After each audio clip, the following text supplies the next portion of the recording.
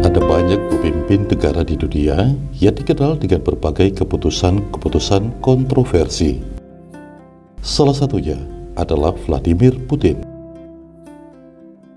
Seorang presiden Rusia yang pada tahun 2022 semakin dikenal dan dikecam oleh banyak negara akibat keputusannya untuk melakukan invasi ke Ukraina. Kecaman itu tidak menggoyahkan Putin untuk tetap menggerakkan pasukannya untuk menyerang Ukraina. Putin beralasan bahwa keputusannya melakukan invasi ke Ukraina semata-mata ingin melindungi rakyat Rusia. Alasan lain, Putin tidak ingin Ukraina bergabung dengan NATO. Alasan lain lagi, Ukraina menurut Putin masih merupakan bagian dari Rusia jika melihat dari sejarahnya saat masih bernama Uni Soviet. Putin adalah seorang presiden yang memang penuh dengan cerita. Banyak yang bilang bahwa watak Putin yang keras dan berani telah dibentuk sejak dirinya masih kecil. Lalu, seperti apa kehidupan masa kecil Putin?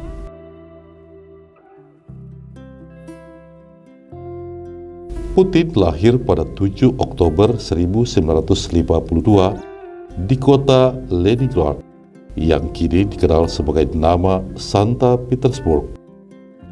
Kota ini dulunya adalah bekas jajahan Nazi yang merupakan bagian dari Republik Sosialis Federasi Soviet Rusia.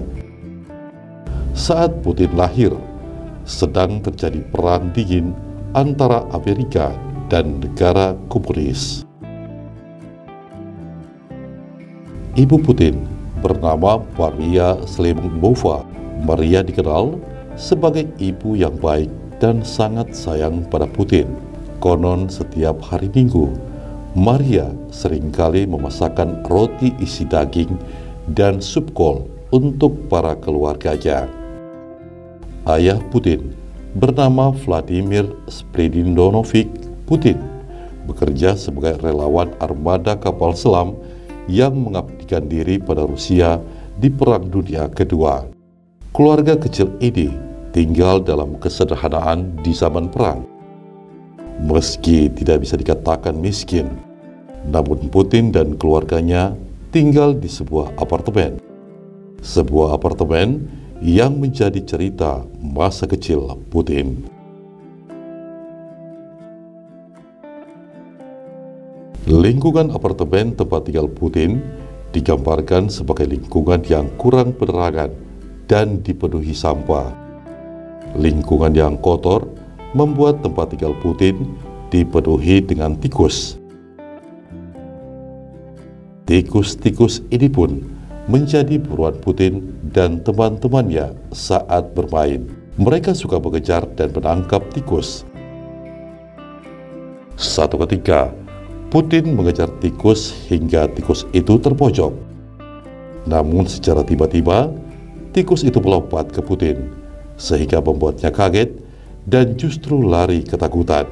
Namun dari peristiwa itu, mengejarkan Putin bahwa keberanian adalah sesuatu yang wajib dimiliki oleh seseorang.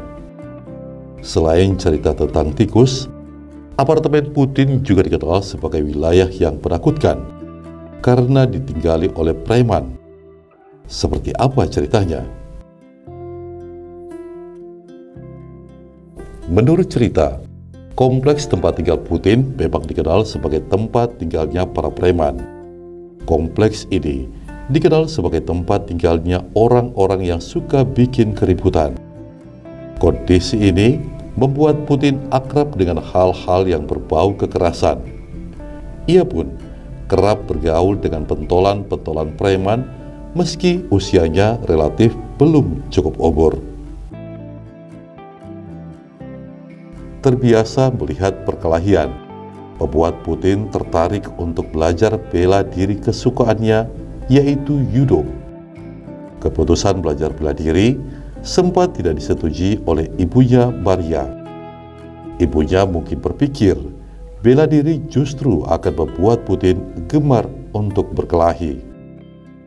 Putin kecil dikenal sebagai murid yang nakal, keras kepala, dan suka berkelahi dengan murid lain, bahkan dengan murid yang lebih tua dan besar dari dirinya. Tidak hanya dengan murid lain, Putin bahkan dikabarkan berkelahi dengan gurunya. Kondisi ini membuat Putin suka mengabaikan pelajaran di sekolah. Kenakalan Putin kecil membuat pihak sekolah memanggil orang tuanya Sikap Ronald Putin ini bertahan hingga dirinya berumur 13 tahun.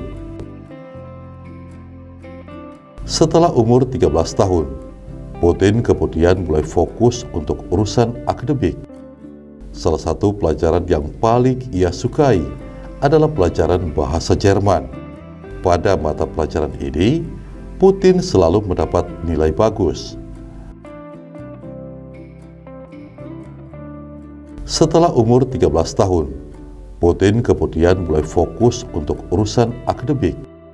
Salah satu pelajaran yang paling ia sukai adalah pelajaran bahasa Jerman. Pada mata pelajaran ini, Putin selalu mendapat nilai bagus. Perlahan namun pasti, Putin kecil yang dikenal sebagai anak nakal dan berandalan serta susah diatur mulai berubah menjadi murid yang suka belajar dan bahkan menjadi bintang kelas. Di kelas 6, Putin kecil bahkan telah bergabung dengan organisasi pelopor pemuda dan terus aktif dalam pendidikan.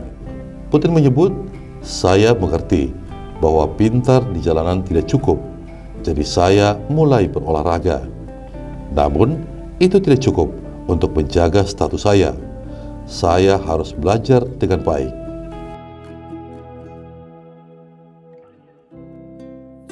Pada akhir tahun 1970-an hingga awal 1980-an.